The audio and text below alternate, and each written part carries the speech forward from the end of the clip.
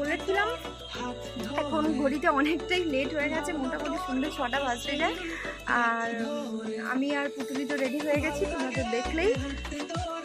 গাজনটা spread করতে start করেছে। তো যাই হোক সন্ধে হয়ে গেছে, বুঝতেই পারছি। যদি চান্স পাই, যদি খোলা থাকে, নিশ্চয়ই আজকে তোমাদের সাথে শেয়ার করব। আমরাও ফার্স্ট টাইম এক্সপ্লোর করব ফার্স্ট টাইম দেখব। আর না হলেও ফুচকা চটপটি খেয়ে বাড়ি ফিরে আসব, ঠিক আছে? যা করছি না করছি, সবটাই তোমাদের সাথে শেয়ার করব। তো চলো, দেখতে থাকো। তো এখন চলে এসেছি, দেখো, দুর্গাচক পার্কে, ঠিক আছে? এটা একদম বাচ্চাদের বাচ্চাদের যে পার্কটা, এখানে একদম মেলা বসে যায়। সন্ধ্যাবেলা হলে পাপড়ি চাট, ফুচকা আইসক্রিম মোমো, সমোসা মানে সব রকম। এখানটা গেলেই যে যতই অসুস্থ থাক না কেন, একদম মন ভালো হয়ে যায়। তো দেখো ফার্স্টেই আমরা এসে আগে ফুচকা ট্রাই করছি। তারপর খাব পাপড়ি চাট, তারপর যাব হলদিয়ায় ইকো পার্ক, ঠিক আছে? তোমরা হয়তো অনেকেই জেনে থাকবে হলদিয়ায় যারা গেছো। আর যারা জানো না, তাদের জন্য এই ভিডিওটা একদম নতুন, একদম কি বলব? পরে তো আমি ভয়েস ওভার দিচ্ছি, তো সেই কারণে বলতে পারছি যে কলকাতার জাস্ট ইকো পার্ক আছে, তোমরা তো সবাই জানো। সেই ধাঁচে খানিকটা গড়া, ঠিক আছে? বাট ভীষণই সুন্দর, খোলামেলা।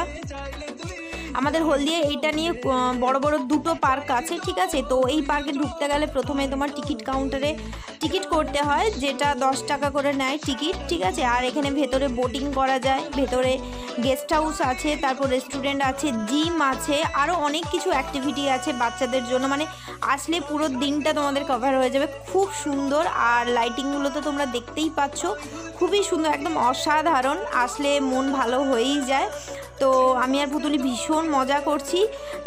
চটপটা খাওয়া তো স্টার্ট হয়েই গেছে, জানি না এর শেষ কোথায়। তো সবটাই তোমাদের সাথে শেয়ার করব। একটুও স্কিপ না করে পুরো ভিডিওটা এন্ড পর্যন্ত দেখতে থাকো। যারা হলদিয়া এখনও পর্যন্ত জানো না, ইকো পার্ক কোথায়, কি বৃত্তান্ত বা কীভাবে যাবে, এই ভিডিওটা তাদের জন্য প্লিজ কেউ স্কিপ করো না। পুরো ভিডিওটা এন্ড পর্যন্ত দেখো।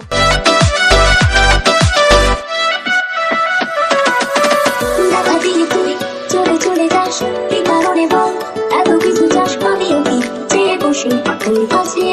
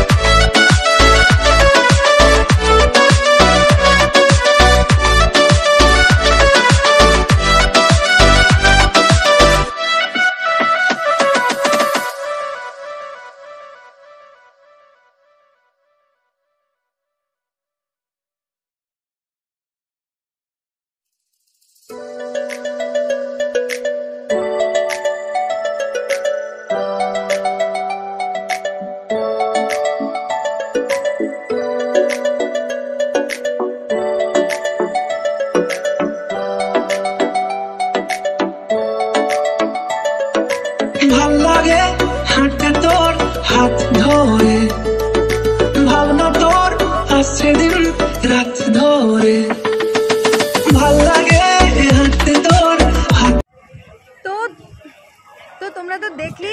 পার্কটা ঘুরিয়ে দেখালাম। অবশ্যই দিনের বেলাতে মানে একটু লাইট থাকলে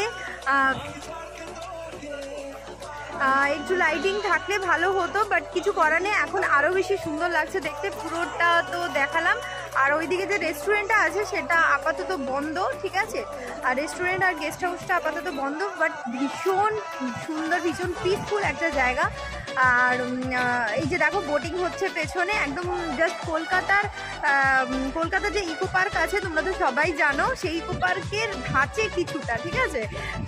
এই এই যে দেখো, ভীষণই সুন্দর লাগছে, ভীষণই সুন্দর, ওইদিকে মিউজিকও বাজছে, ভীষণ ভালো লাগছে। আর একটু একটু দিনের বেলা আসলে হয়তো বেশি পরিষ্কারভাবে বোঝা যেত বাট এখনই সুন্দর লাগছে। দেখো লাইটিং টাইটিংগুলো দারুণ। আর এখান থেকে যে ওভার ব্রিজটা আছে, সেটা লোকেশনটা মানে এখান থেকে যে ওভার ব্রিজটা আছে, সেটা একবার তোমাদের সাথে শেয়ার করে দিচ্ছি। এই দেখো।